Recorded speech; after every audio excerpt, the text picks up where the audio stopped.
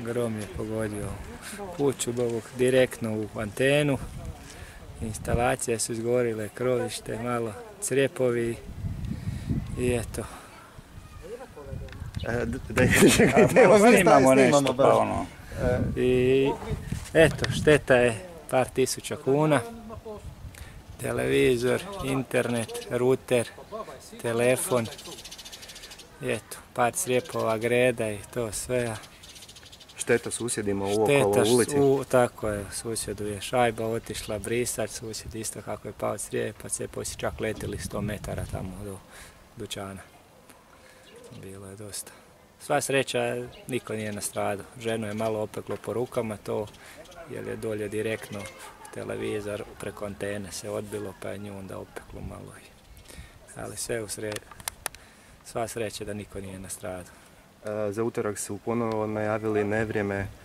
Da li postoji kako osiguranje od toga? Pa ne postoji jedino osigurat u- nekoj osiguravajućoj kući, to se eto, slažu, dečki slažu krovište i nema šta drugo, sad smo skinuli tu antenu i to sve što se može, ali protiv sile prirode se ne može.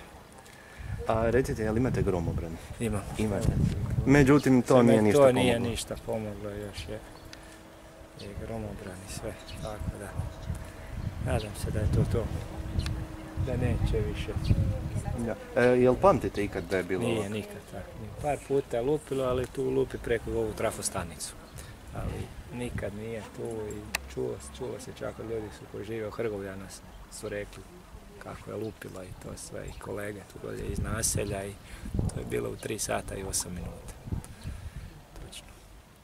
Tako da je jako užasno i sva sreća da niko nije bio tu, da, da nije nastradao i da nije se zapalilo skroz krovište, nego samo instalacije koji kabeli bez struje su ostalo. Bili su djelatnici elektre i ljudi iz BNeta i koliko mogli su složili, ali danas su popodne se svi najavili da će doći ista ekipa na to detaljno složiti, ali su privremeno samo to zakrpali.